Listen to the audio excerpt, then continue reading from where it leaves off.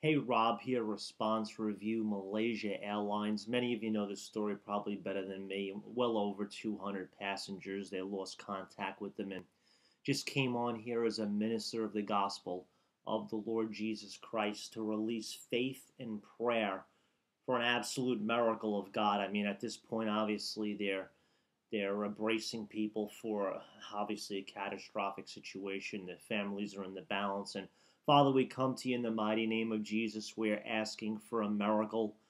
Lord, we believe and we receive a miracle for every passenger on board in Jesus' precious name. I always believe for the best. I'm a minister. I'm the type of guy, by the way, that, you know, if you're pronounced dead, I'm coming to the hospital to raise you back, man. Resurrection power, just the way I am. I've buried many young people, by the way, here in the state of New York due to drug overdose, and we always contend for them to come out of comas, etc. But uh, you know, my concern always as a minister, friends, is the topic of eternity. I mean, certainly those people never got on board that airplane that day and dreamed that this could possibly be their last day on the earth. Now, I'm not saying it is. I don't, no one knows the outcome right now, but the point I'm trying to make is eternity is without measure.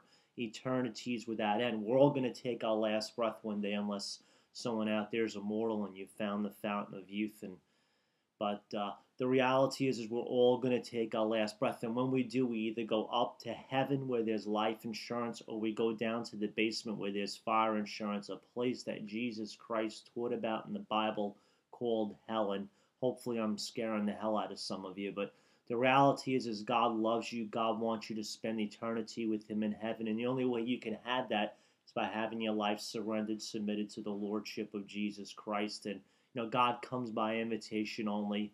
He'll never knock, crash, or blow the door down to your heart. You know, God gave us a free will, so we can accept Christ out of obedience or reject him out of disobedience. In other words, we're the ones that control the doorknob to our heart. And promise you this once you open the door of your heart just a crack, the Lord will come in with his great grace, mercy, compassion, kindness, most of all, his great love. And the Bible's clear about the love of God. It says in the book of John, chapter 3, verse 16, For God so loved the world, he gave as a gift his only Son, that if you would believe and receive Jesus, you would never perish. You'd have eternal life. And desire to recite a simple prayer to me. Say, Jesus, thank you for dying on the cross for my sins.